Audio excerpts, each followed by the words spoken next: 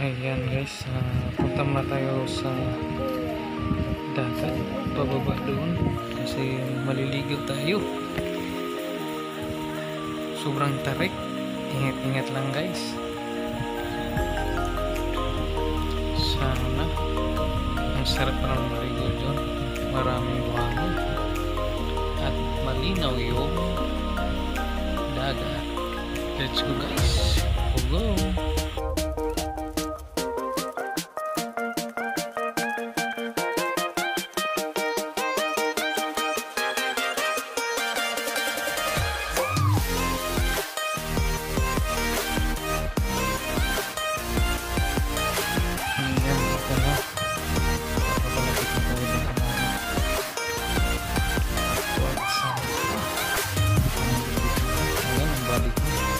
be his engine.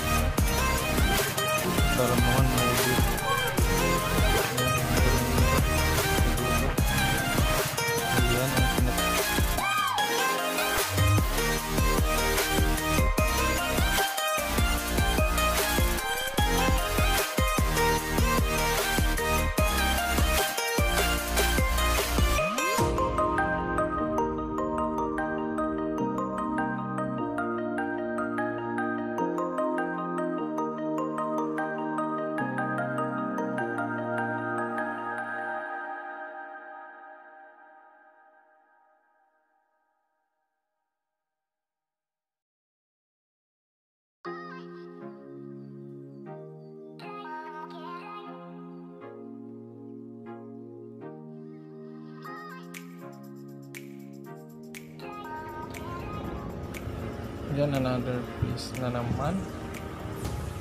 Nakakatakot ito. Sobrang lalim na to. Yan, may shark dyan. At tarik pa. Nagtaka ako, bakit marami pa rin pupunta dito? Ah, ma mga bigatin pa. Lalo na doon sa lago. Sarap tambayan dito eh. Lalo na pag may kasama kang kaibigan. Yung kaibigan na malupit na kaibigan talaga. Yan o, yan o, dulo. Yan, papunta doon sa waiting shed palayo ng palayo o Hmm. ang ganda ng ano. Ah, private place kasi ito eh.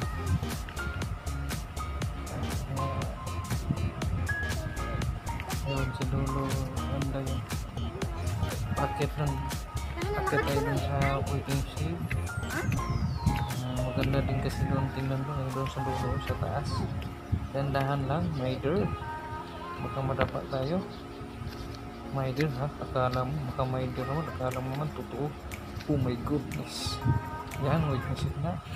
Ayan guys, ah, magpalamig muna tayo dyan dun sa dulo. Pangin ba? Pangin. Sobra kasing fresh air doon. Ayan. Green green grass out on. Ayan. Naka blue blue talaga yung dagat. Ayan. Punta ko doon sa waiting shed.